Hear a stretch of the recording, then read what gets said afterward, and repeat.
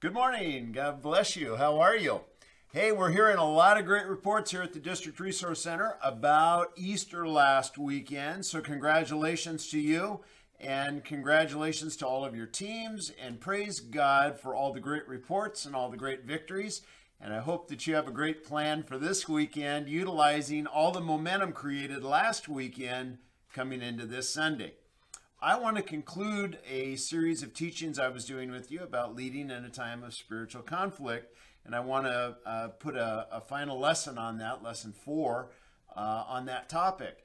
And we have uh, said to each other each week of this particular set of teachings that it's very, very obvious that we're in a time of increased spiritual conflict and that we need to be aware of some things as we are leading ourselves, leading our families, and leading our congregations and leading our communities through a time of increased spiritual conflict. And when we talk about spiritual conflict, it's important that we set a good baseline because this is one of those topics that has a tendency to get a little bit messy and sometimes even a little bit weird if we're not careful. So, the biblical baseline that we have set in this study has been this that spiritual conflict is a reality and we use Second Corinthians chapter 10 verses 3 through 5 on that that we are equipped to fight this battle spiritually And that's Luke 10 19. And the Lord is fully engaged in the battle for us and with us. And that's Deuteronomy 28 7. And that we should expect always to be victorious in spiritual conflict. 1 John 5 4 and 5. And Isaiah 54 verse 17. One more thing I want to add uh, this week, as I have each week of this series, to our baseline is that spiritual conflict is something that finds its way into both the Old Testament and the New Testament, and it's something that is throughout all of Scripture that we see the reality of spiritual conflict. And so we know that it's an expected reality in the day and age that we live, and it's nothing exceptional. It's been going on since the Old Testament, and it's found its way into the New Testament. Ephesians 6 10 through 13 is a premier scripture when we're talking about spiritual conflict, and I want to read that one to you. Finally, be strong in the Lord and his mighty power.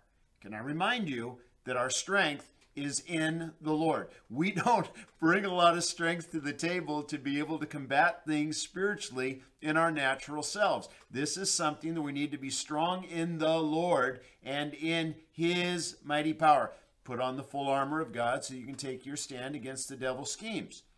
For our struggle is not against flesh and blood, but against the rulers, against the authorities, against the powers of this dark world, and against spiritual forces of evil in the heavenly realms. Therefore, second time, put on the full armor of God so that the day, when the day of evil comes, you may be able to stand your ground after you have done everything to stand. So, the devil's schemes. The Greek word here is method, strategy, craftiness, planned, deceitful procedures. They are intentional. It is our struggle. It is not just people we're battling, but principalities and powers. There is armor that's been given to you because the battle is intense, and the goal is for you to remain standing after you've been in one of these conflicts. So, to finish up our baseline study, we're looking at the schemes, the methods, the strategies, the craftiness of the devil. So, when we put on the full armor of God so that we are able to stand against the devil's schemes, we've been identifying some of the devil's schemes because in 2 Corinthians 10, uh, 2, 10 and 11, it says, we don't want the devil to outwit us, and we are not unaware of his schemes.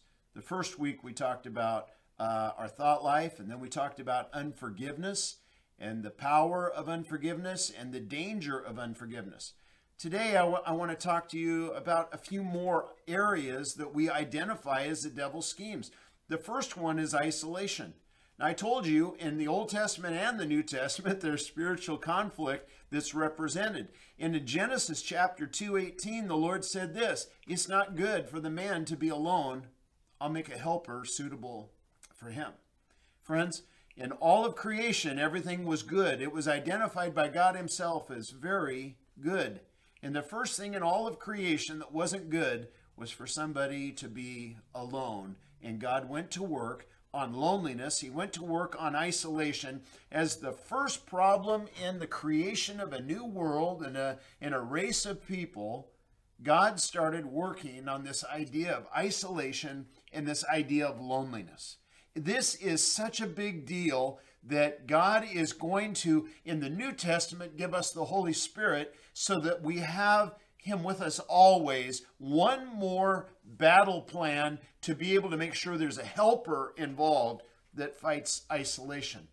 Isolation is always your personal responsibility.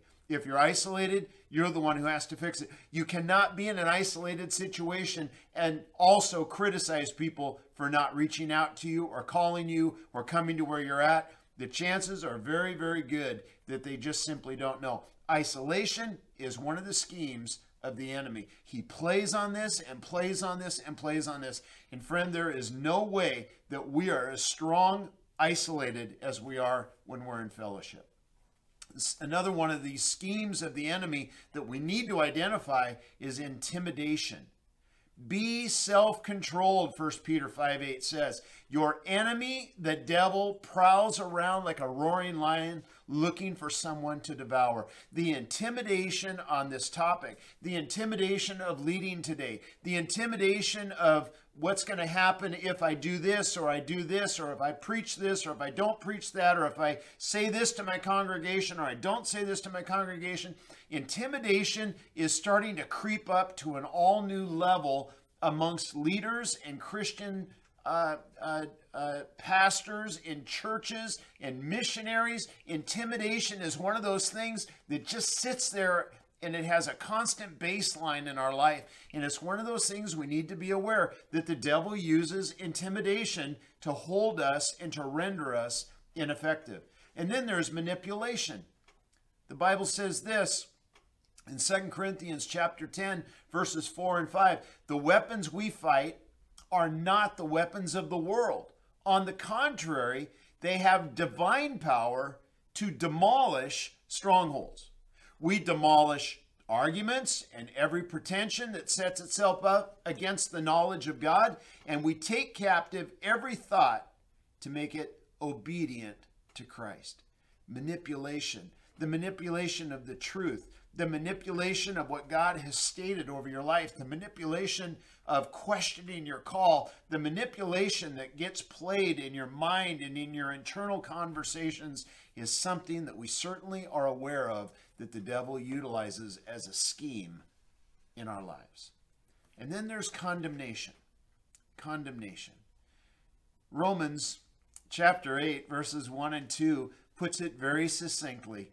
Therefore, there is now no condemnation for those who are in Christ Jesus. Because through Christ Jesus, the law of the Spirit of life set me free from the law of sin and death. Condemnation is completely different than conviction.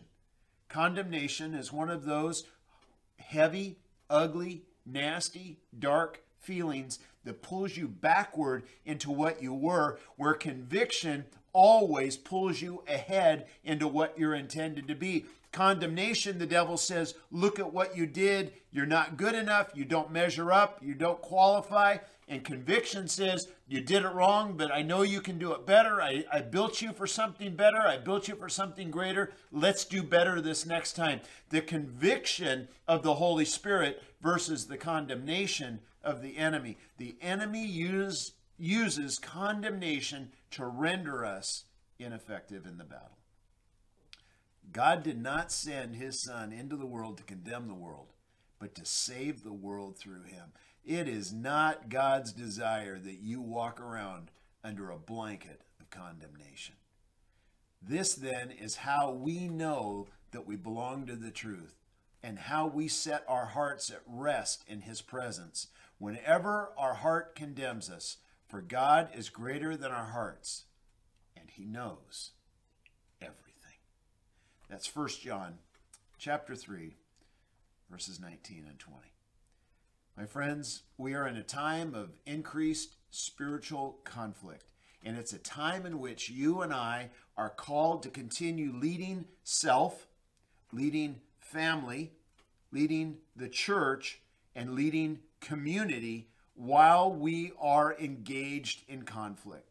The things that make us susceptible to schemes of the enemy are our personal fatigue, our personal insecurities, and broken relationships in our lives. I would encourage you to rest. I would encourage you to be secure in His mighty power.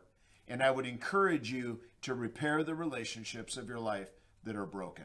Let's not give a foothold to the schemes of the enemy.